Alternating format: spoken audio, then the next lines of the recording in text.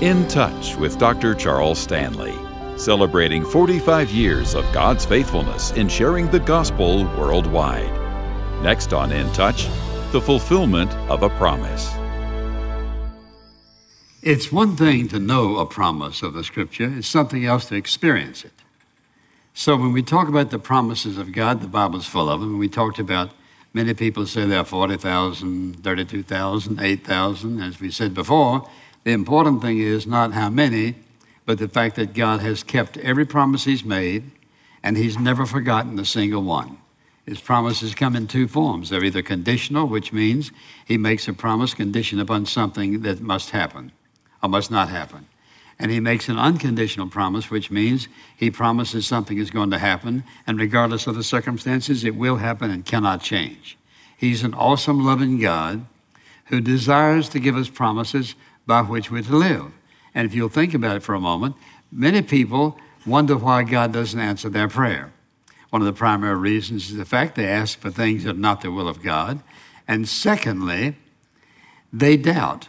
And one of the primary reasons people doubt God answering their petition is because they don't have any foundation for it. That is, they ask, and it's a matter of feeling and hoping and wishing, but no foundation. If you're asking God to give you guidance in some area, or if it's something that you need in your life, you need, listen, to put a foundation to that so that you can get anchored in that. You need to have a promise from God's Word. And there are many promises in God's Word. And there's a promise for every single solitary thing that you and I need. It's here. So, what I want to do in this message is this I want to use one story, one event in the Old Testament uh, as a track to show you how does God answer prayer? How, how, do, how does He deal with His promises? We said sometimes He has unconditional promises. They're going to be that way, nothing's going to change it. So, I want to take you along that track.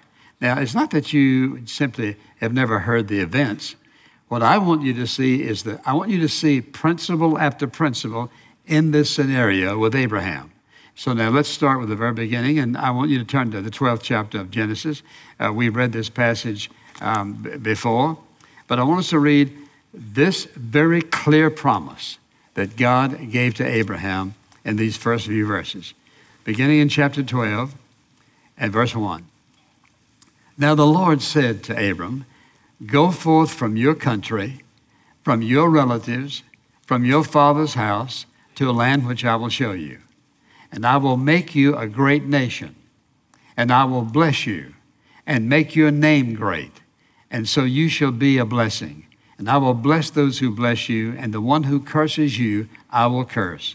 And you, he says, and you, all the families of the earth, will be blessed.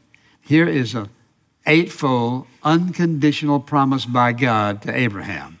Now, what I want you to see is I want you to watch what happens in this man's life because a long period of time takes place before God fulfills all these promises. And one of the reasons we miss some of God's best blessings in our life is because his time schedule doesn't meet ours. And of course, we see here's a perfect example in this passage of Scripture that shows us uh, between chapter 12 and 22 what happens when people are not willing to wait for God's promises, when they take things in their own hands, and what happens as a result. So let's look at this. And the first thing I want you to jot down in your notes is simply this, and that is that the promises of God are stated clearly. That is, God would never say to you, Now, here's what I'm thinking about. Or He wouldn't say, I want you to consider. Or He wouldn't say, Well, uh, uh, here's, what I'm, here's what I'd like for you to do. You figure it out. God's promises are crystal clear. There's not a single hazy, shady, kind of uncertain promise in the Word of God. So, therefore, He's going to make it very, very clear. And there are many promises in the Scripture, and many of these promises apply to you and me just like they did to Abraham. And You say, Well, I haven't been a Christian very long. That hasn't got anything to do with it. God doesn't change his principles. Watch this carefully. He loves every single one of us unconditionally. That is, he wants the best for every single one of us. His promises include every single aspect of our life because he has a purpose for your life. And sometimes people have the idea, well, well who am I? And God doesn't have any purpose for my life. Yes, he does. You're, you're not listening to him. He has a purpose and a plan for your life. He wants to accomplish something through you. So the first thing he does is he makes his promise very clear. But the second thing I want you to notice is this, and that is with God's, listen, with his promises comes clear guidance. For example, if you're seeking his mind and heart about something and God says, here's what I want you to do, God is never going to leave you to sort of figure it out for yourself. And uh, in this sixth verse, uh, the Bible says that Abram passed through the land as far as the site of Shechem to the oak of Moreh. Now, the Canaanite was in the land. Now, why is he saying this? Because he wanted him to follow a certain path. Now, watch this carefully because this is what gets people in trouble. They don't follow God's direction. They start out following God's direction, then they figure, I'll take it from here. And so he said the Canaanite was in the land. Well, remember, the Canaanites, Perizzites, Hivites, Jebusites, all the ites. They were all enemies of the people of God. And so he said to him here, he said, uh, I'm going to be with you. So the important thing is that we recognize that God is going to guide us in whatever he tells us to do. You think about all the decisions you have to make in life. And think about decisions that pop up that you and I don't even plan on. Things that we don't even have any details about. But he says, I will guide you. That's a promise that belongs to every single child of God that you can't bring up any issue that he didn't know all about it. You can't bring up any question that he didn't have an answer for. And he's not going to say, well, maybe. He's not going to say, well, I'll think about it. I forgot that.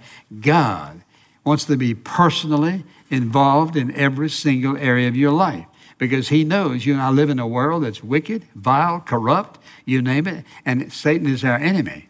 And therefore, God wants to be involved in every aspect of our life. Then there's a third thing that's important here, and that's this and that is there should be many times in life when there's a time of personal worship and meditation in our life, seeking His guidance and direction. And the more critical the decision, but the more time you and I should be spending in doing what? Just what we're talking about here meditating upon His Word. What did He say? How does He operate? And that more than likely, you and I will never come to a place in life where we think, well, I, have got that down. When somebody is all that cocky about their understanding of everything, you better watch out. Because, listen, times change, things change. God doesn't change. But God, listen, God may change our sense of direction. He may change what we're doing. And God may come to you tomorrow and say, you know what? I don't want you working here anymore. You say, well, that couldn't be of God because it's so hard to get a job. If God said, I want you to quit your job today, I have something else for you, you'd say, well, you know what? That's not even reasonable. I'm not about that. That couldn't be God. Don't underestimate God's surprise interventions in your life. Because here's one of the things God wants to do. In every change of our life, what does He want to do? He does it in a way that only He can get credit for it, number one. And secondly, He wants us to learn to trust Him. And in order to do that, you've got to stay in a right relationship with Him. And so, what we find in these passages here, beginning, for example, in the seventh verse, now uh, Abraham's already on the move. The Lord appeared to Abram and said to your descendants, I will give this land. So he built an altar there to the Lord who appeared to him. Then the scripture says in verse 8, Then he proceeded from there to the mountain on the east of Bethel, and pitched his tent with Bethel on the west and Ai on the east. And there he built an altar to the Lord and called upon the name of the Lord. So what do you, what do you find him doing? He moves in the direction God wants him to go, and then he takes the time. And when they built an altar, uh, it could have been all kind of altar, but usually, for example, a stone altar, and that pile of stones represented. You just think about all the technology we have. Their technology was real simple pile of stones here, pile of stones there, and pile of stones over here because he went back to the same pile of stones, the scripture will tell us in a moment. He went back to the same pile of stones because he wanted to be reminded of what God said to him. This is why I encourage you to keep a diary. This is why I encourage you to write down what God says to you. Because you, listen, Satan will steal it. He will take it right out of your mind. And I do believe that God oftentimes speaks to us the same requirement over and over and over again because He knows. Think about how busy you are on any given day. He knows that our minds can be contaminated with all kind of stuff. He wants us walking in the center of His will. Why? Because He wants the best for your life. And if there's anything I could say to someone, God wants the best for your life, but you've got to cooperate with Him. He's going to do his part. He's going to show you the way. He's going to make a way. He's going to provide the way. He's going to do everything that a sovereign, loving God can do to help you on your way in life. But if you violate that and you decide you're going to do it yourself, you're going to get in trouble. It's very, very simple. Very, it's very clear in the Word of God, which leads me to this next point. That's this that changing course from God's pathway, changing course from God's guidance, what, what does that do? Well, first of all, indicates that we are doubting God's promise. That, Lord, I know that, I know this is what you said, but Lord, I must, I, this can't be true because this is totally unreasonable. So let's see, why did he think that? Well, if you look at this passage of Scripture and look in this 10th verse, there was a famine in the land. So Abram went down to Egypt to sojourn there, for the famine was severe in the land. Now, here's what you'll find out. First time Egypt's mentioned in the scriptures. Every time he headed to Egypt, he got in trouble. Think about what God told him, all the specific things he told him. And then there's a famine. He says, I better head out somewhere else. Got him in trouble. Well, that's not the only trouble he had, but uh, it's part of it because he stepped out of God's plan, out of God's will. And this is why somebody says, Well, I don't know that I know the will of God that much. That's why meditation, reading the Word of God, praying, reading your Bible, focusing your life on God makes the difference. It's just that simple. That none of us are smart enough to do it on our own and neglect the Word of God, which get, this is this is how we get direction in our life. When you and I are looking for God's direction, and He knows we need, when we need clarity, He needs He knows when we need assurance. He knows when we're afraid, and He knows exactly what's going on. You've got to stay in the Word of God. You think you can live without it, but you will get in trouble every single time. Meditation upon the Word. Listen, you know what this is? This is a divine, a divine compass that's perfectly accurate, and nothing can get it off of accuracy. And God has given it to us to guide us and to lead us in our Christian life. And so when we try to fix things and do it our way, it just doesn't work that way at all. Now, then look what happens. And that is, God will renew his promise because he wants us to follow him. He will renew his promise to us as we follow his will. In the 15th chapter, if you move on over there, and we're skipping some chapters because of things that are going on that are not necessarily, did not apply to this. So in the 15th chapter, verse 1. After these things, the word of the Lord came to Abram in a vision, saying, Do not fear, Abram. I'm a shield to you. Your reward shall be very great. Abram said, O Lord God, what will you give me since I'm childless? And heir of my house is Eliezer of Damascus, is one of his servants. Abram said, Since you have given no offspring to me, one born in my house is my heir. Then behold, the word of the Lord came to him, saying, This man will not be your heir but one who will come forth from your own body. He shall be your heir. And he took him outside and said, Now look toward the heavens, count the stars, if you're able to count them. And he said to him, Listen, uh, so shall your descendants be. Then he believed in the Lord, and he reckoned it unto him as righteousness. And he said to him, I am the Lord who brought you out of the Ur of the Chaldees to give you this land to possess it. Then, of course, he says, Oh, Lord God, what about so and so? What I want you to say is this In God's awesome love for us, wherever he leads us, and especially when the, when the way gets difficult and hard and we can't quite see our way, it's in his wonderful grace that God will take the time and do whatever's necessary to reassure us that we are walking in his path, though it may be difficult, may be hard. We are walking in his path, may be questionable, Others may think, well, why, why are you doing that?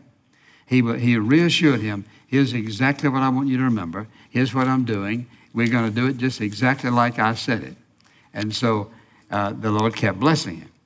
Now, which leads me to another issue here. That is that sometimes listening to ungodly counsel or what may not necessarily be ungodly but unwise counsel can cause us to ignore the promises of God and get out of the will of God.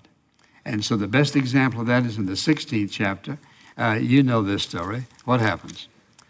Well, Sarah can't have a child. And so uh, some time goes by, and so she says, Abraham, uh, here's what I'd like to do. It's called him Abram in those days. Here's what I'd like to do. Uh, you get the maid, and uh, I'm going to turn the maid over to you, and uh, we'll, I'll have a child that way. Boy, this is a perfect example. You step out of God's will, do it your way instead of His way, you always have trouble. Did you hear that say amen? Always have trouble. So now, this good relationship that they seemingly had between Abraham's wife and Hagar and himself, now there's immediate conflict in the family because the scripture says, He went into Hagar and she conceived, and when she saw that she had conceived, her mistress was despised in her sight. Now, here's a man living with two women in the same household. They were all getting along fine until he listened to Sarah's ill advice and did what she said instead of trusting God. He wasn't trusting God. God says, God says, here's what I'm going to do it through you. Not through an Egyptian, but through you. And God made it crystal clear. And so listening to unwise counsel gets you out of the will of God, and usually when that happens, other people suffer as a result. Then, of course, sometimes the fulfillment of, of God's promise may seem impossible when we view it from our eyes. And this is what, uh, in the 17th chapter, this is where we find the Lord speaking to uh, Abraham and uh, telling him what he's going to do. I will bless her, and indeed I will give you a son by her. Then I will bless her, and she shall be a mother of nations. Kings of peoples will come from her. Now listen to this. Because it didn't seem reasonable, then Abraham fell on his face laughing and said in his heart, Will a child be born to a man who is a hundred years old? And will Sarah, who is 90 years old, bear a child? And so you look at this passage and you, you think, well, God, what, what, what in the world were you up to in all this? It, it seemed impossible. Why, why didn't you just go ahead and let Sarah have a son? What, what's all this putting it off? A quarter of a century. It didn't make sense unless you know God. And when you see it from God's perspective, then we, see, we say, Oh, I see. So he laughed when Sarah heard it. She laughed. They're both laughing at God about God doing what he promised to do on his schedule, in his timing, in his way. But he followed him, he obeyed him, as tough as it may have uh, seemed to him at that particular time. So then that leads me to the next one. That's simply this that the fulfillment of God's promise in life may require of us something that appears to be in opposition to what He's promised. And He's promised that through this child Isaac, He is going to bless all of mankind. And then one day, God says to him in the 22nd chapter, came about after these things that God tested Abraham and said to him, Abraham, he said, Here I am. He said, Take now your son, your only son whom you love, Isaac, offer him there on Mount Moriah as a burnt offering on one of the mountains of which I will show you. And that didn't make any sense at all because it looked like God was contradicting himself. He says, Through this child, I'm going to bless the nations of the earth. And now you're telling me to go kill him? Now let's put it in cold language kill him? That doesn't make sense. That, in other words, that couldn't be God. God would not, never say that. Watch this. This is why we live by promise and we live by obedience, not by feelings and not by reason.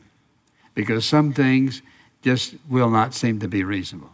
But what did he do? The scripture says very clearly Abraham rose early the next morning and saddled his donkey, took two of his young men with him, and Isaac his son he split wood for the burnt offering and rose and went to the place of which God had told him. Now, here's a significant thing. On the third day, Abraham raised his eyes and saw the place from a distance. Abraham said to his young men, now watch this, very significant verse in the Bible. Abraham said to his young men, Stay here with the donkey, and I and the lad will go over there, and we will worship and return to you. What was Abraham saying? God's made me a promise, and He's taken me this far. He gave me a son when I didn't even think it was possible. He's done all this. If God tells me to sacrifice my son, I'm going to be obedient to Him because I believe that God will have to raise him from the dead, but I'm going to trust Him to do it. Wasn't reasonable, but he trusted Him. Which leads me to the last point, that's this. Sometimes the fulfillment of God's promise may lead us to surrender something very dear to us. So, of all the things that Abraham owned, and he was a very, very wealthy man, the most important possession he had was Isaac, his son. That's why he called him the one, the only one he loved. Think about this. Isaac was that link in the chain that kept the chain of the genealogy of Jesus in perfect sequence. And so, what did he do? He took him up to the mountain, he had him bound, laid him up on the altar, and raised the dagger to take his life. It's interesting, you recall the scripture says, on their way up there, that Isaac said, Well, Father, I see the wood, and um, I, I, see how we can build an altar, and the, I see the fire. Where's the lamb? Remember what Abraham said? God will provide the lamb. Now, watch this. Isaac was the most precious thing he owned. That was his son. But he was willing to lay him down for the purpose of obeying God. So let me ask you a question. What is there in your life that you're gripping, you're holding on to, and somehow you just can't surrender to God? Watch this carefully. Is it a relationship that you have that you can't open your hands to? Is it something you possess that you can't lay down, something you own? Is it some dream that you have, some goal that you've set, some path that you have chosen to walk, but you're not willing to lay it down?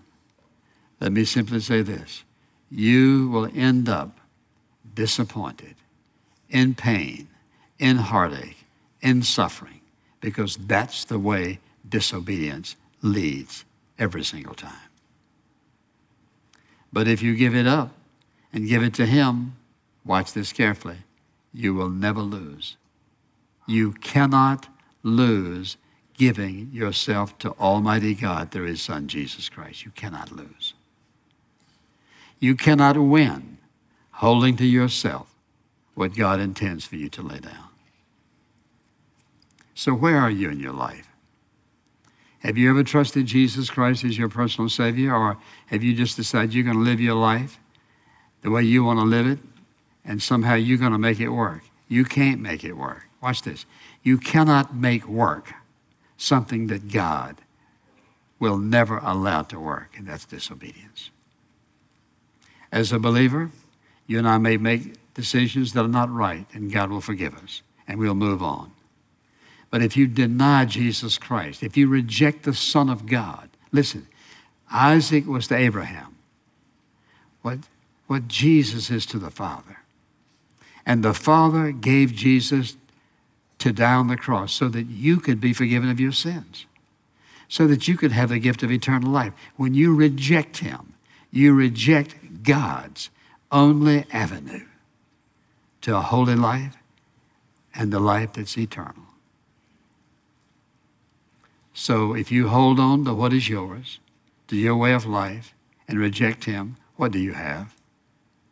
You don't have His guidance, you don't have His presence, you don't have anything. It's a deception of the devil that somehow you're going to make it anyway. You cannot. Please listen to me. You cannot. You will not. God will not allow it.